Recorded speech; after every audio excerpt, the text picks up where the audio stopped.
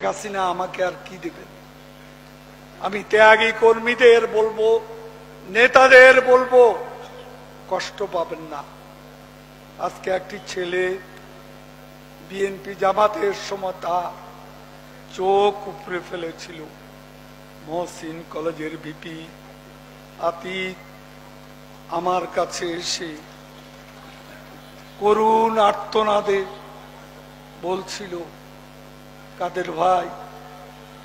আমি তো অন্ধ। আমার তো পরিবারের কাছে জবাব দিতে পারি না। আমার পরিচয় কি? আওয়ামী লীগের অনেক কর্মীর কোনো পরিচয় নেই। টাকা পয়সা বানায়নি। আওয়ামী লীগ আওয়ামী লীগ করে। দিবারাত্রি। ঘরে গিয়ে ফ্যামিলির কাছে পরিচয় দিতে পারে না।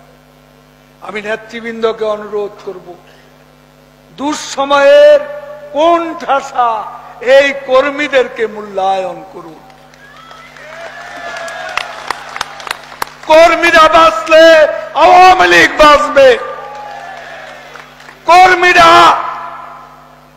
বেঁচে ছিল বলেই শেখ হাসিনা এক এগারো, এগারোর কারাগার থেকে মুক্তি পেয়েছিলেন।